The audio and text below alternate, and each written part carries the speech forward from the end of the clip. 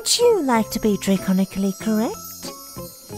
Hate who you're not supposed to hate, and love what you're not supposed to love.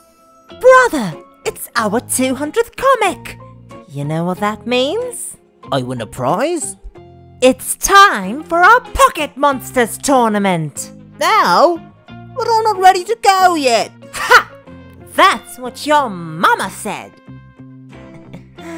Remember the day mother was killed? I hate you. I've brought only my most powerful pocket monsters to battle you, Ferragus. Sophisticated Australian. Beatrix Potter. Girl in year 8. But I only have two monsters. You can borrow my spare. He is a nerd. Ha ha! I am such a nerd. I know I'm gonna win our Pocket Monsters battle, Hildegard. Oh yeah? See? My team have fully evolved. They're legendary. You really don't have a clue, do you? I didn't even get up yesterday. You bet a pile of gold on our battle, Ferragus. You had better be good for it. Oh, for sure. I'll even offer the noble Sir Corpse as your collateral. Eh! What do I want with this god-forsaken horror? I admit, atheism didn't pan out quite as I expected.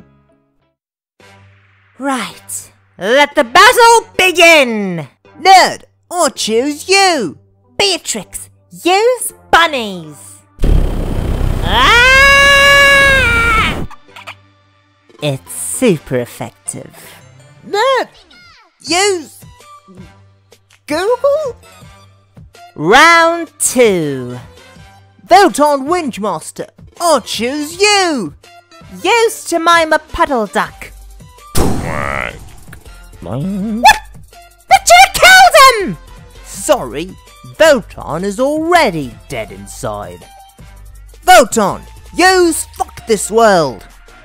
Hey Beatrix, check out the trailer for Sony's new Peter Rabbit movie. Why is Peter breakdancing? Because your stories were too old and boring. Hollywood has fixed them for you. Lord save me from this postmodern nightmare! Hooray! Nothing is sacred anymore! Peace on everything! Sophisticated Australian, I choose you! Voton, use Home Truth! Hey you! Your country was built by dumbass British criminals and chain gangs! And before that no one wanted to live in it except hopeless stone age aboriginals! Are you hearing me? Australians contributed nothing, nothing, nothing to the world! Mate, don't worry about it. Culture troll can't hurt my guy. He's an Australian. He doesn't even know what his culture is. Australian, use crikey. Voton has fainted. Another human outpost destroyed. Good work, my emus. White! I sense. It's a presence I've not felt since.